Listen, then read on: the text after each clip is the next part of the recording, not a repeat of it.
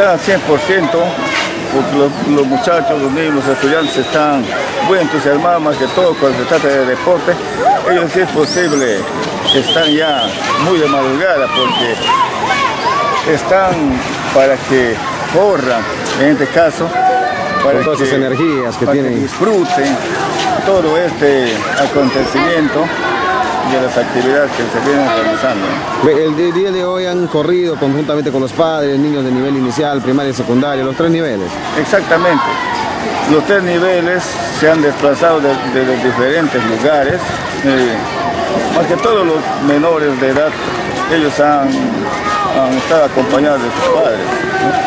Pero siempre con el entusiasmo de participar de manera muy activa en estas actividades. Este profesor, eh, ¿qué actividades tienen programadas para el día de hoy en este marco de esta celebración, de esta semana técnica que también tienen ustedes? Luego de esta primera actividad, ¿no?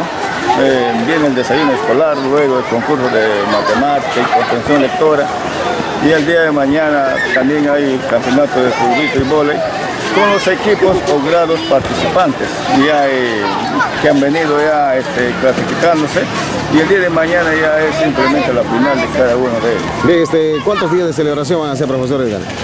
Hasta el día jueves.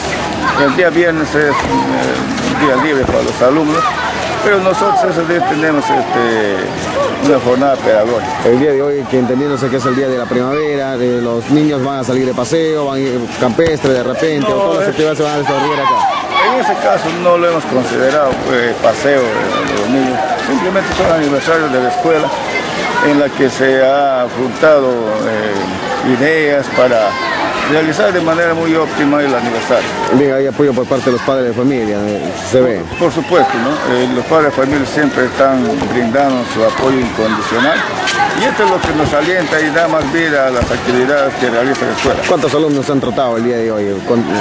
Todos, todos, todos. ¿Cuántos alumnos son en la institución?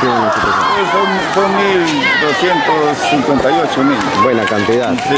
¿Han tenido que madrugar los docentes? Tanto inicial, primaria, secundaria. Por supuesto que los docentes ya están ellos también participando, cada uno con su grado y sección, porque muchos de ellos son asesores y ellos son los primeros que tienen que estar dando el ejemplo.